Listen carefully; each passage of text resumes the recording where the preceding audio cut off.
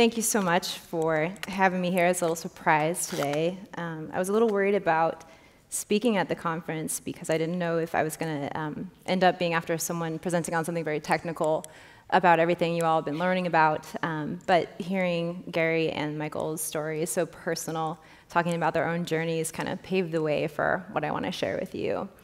So, a little bit about me. Um, I'm native Oregonian and um, grew up in Portland, so it's nice to be back in my hometown.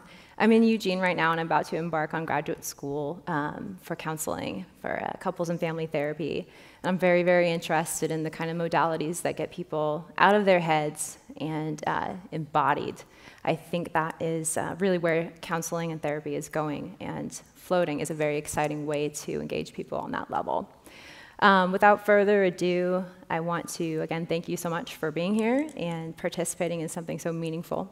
And I'm going to share a piece with you that I wrote uh, after my first float through the writers program um, that Float On did. It's called Doors in the Sky. Invited to experience a saltwater float last minute, my answer is an easy yes. I've journeyed deep inside during a Inipi, sweat lodge ceremony, a handful of times and those ceremonies pushed me a long way out of comfort before retrieving me. I feel more curious than fearful about sensory deprivation. Naked and rinsed, I close the tank door behind me and slosh into the dimly lit pool. As soon as my whole body is settled, weightlessness reaches my consciousness, and I feel relief. Air bubbles pop noisily out of my ears, and warm, salty water backfills the canals. I reach over and turn the lights out, easing myself into darkness. The next thing I notice is the sound of breaths and a thudding heartbeat. I think about how babies might hear their mother's hearts and lungs, just like this in utero. For a while, my thoughts skip around erratically like lightning bolts. As soon as, and soon my mind tires of its own compulsivity. Raw emotions float up now, Anxiety blights the mental and emotional landscape inside. Work stress intrudes unpleasantly, and so does the relentless babble of Am I good enough? Are all the problems my fault? Will things ever get better? Did I do everything wrong? Am I wrong? Eventually, my preoccupations fall completely away, and I realize with a great deal of relief that I am a solid state under all those tumultuous thoughts. Eventually, I sink fully into this native calm, surrendering to the greater truth of I am whole and undisturbed. It's time to journey now. Where am I? I open my mind's eye, and it is a gray evening.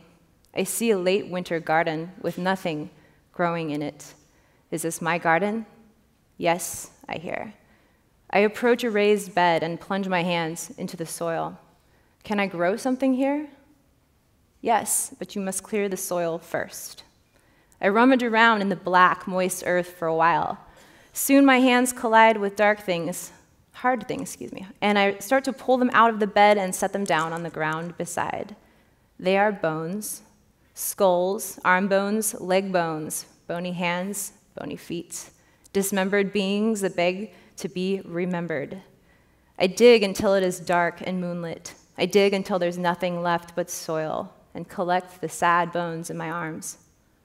I set them all down on a potting bench and begin to dust off the soil, revealing clean white surfaces beneath. I tell them I'm sorry they have all come apart. I start to cry. I weep because I don't know how to put them back together correctly. My tears wash them the rest of the way clean, and they begin to self organize, to reassemble, to remember. I stand back as they become partial bodies, half bodies, then eventually there are several whole bodies. The skeletons blink and fade and then become people dressed in clothes, wearing glasses, walking around together slowly. I realize they're my ancestors, my kin. I have never met any living relative. And though I've longed each day of my life to be reunited, this will be the first time. I'm filled with hope and grief and know that I must speak to each of them, must face them all. One by one, they approach me and look into my face with love. They whisper messages lighter and softer than summer wind. They reach out, they hold my hand. They each have gifts for me to remember them by, as I must let each one of them go to the great beyond forever. They need me to liberate them.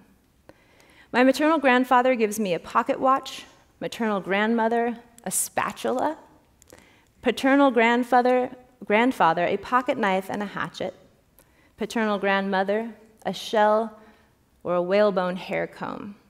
My older brother gives me a harmonica, and my little sister gives me a lollipop. With each interaction, I weep with sadness and express my gratitude. I caress their faces, squeeze their hands, hug them. Each one whispers goodbye and then wanders over the grassy hill to a door in the sky. They open their doors, enter the light, and close the star speckled sky behind them. I cry hard, and the rush of pressure into my ears and sinuses is very forceful.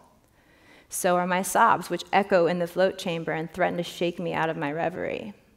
But I sink back into the scene and realize it's time that my parent, time to face my parents and let them go as well.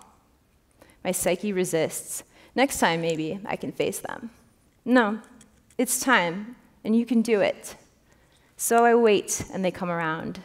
I've never seen their faces. My mother approaches me first, and my sobs become uncontrollable. She is so soft and beautiful, and much smaller than I would have predicted. She offers me a luminous red glass heart, and we hold each other for a long time. Let me go, please. I will never really be gone, you know. I desperately do not want to let her go, but I do. She finds her door in the sky, and the stars enfold her, closing the door behind her. My father approaches me last. Child, you are amazing, and we will always be with you on the other side. Know that you are as whole, know that you are whole, and keep these gifts close to you. Here is my gift to you. My father has made me a lush cloak of ferns. He drapes it around me gently and places a crown of flowers onto my head. He holds my face, looks at me with utter love, and he smiles. He turns and walks to the star scattered horizon and opens his door to the sky. He enters this tomb and it closes perfectly around him. One last great wave of sorrow washes through me, and I feel my sobs shake the fern, the fern cloak, and then it all settles down. My tears cascade down the cloak, and they call forth flowers. There, a nasturtium, there, a morning glory, there, a lily. Tiny green frogs venture out of the fronds and let the moonlight wash over their smooth backs. Moths emerge and alight on flowers to drink nocturnal sweetness.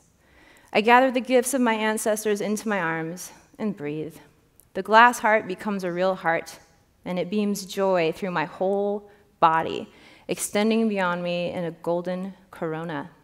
At last, I am a Madonna, pregnant with the miracle of my own life force gifted with all the necessary tools for my survival, swaddled by a cloak of nature. I am free to hope for anything now, free to plant the garden soil that once was filled only by bones. Thank you.